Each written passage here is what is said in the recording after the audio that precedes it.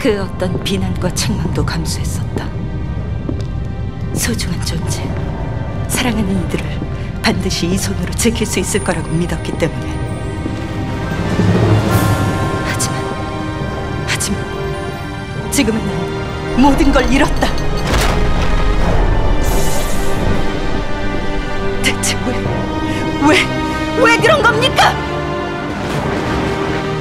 난 그저 당신이 만들어 놓은 거짓된 이상의 노란한 도구였던 거야. 지금부터 모든 걸 다 끝장내주겠어!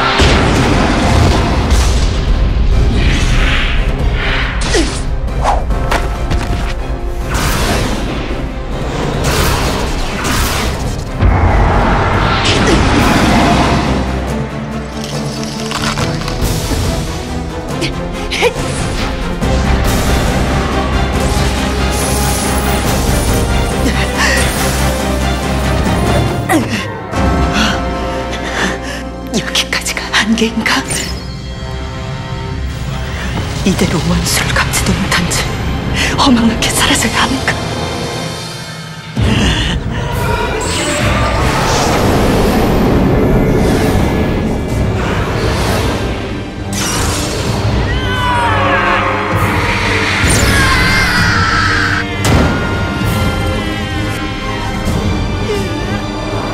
만약, 만약 내게 한 번만 더 기회가 주어진다면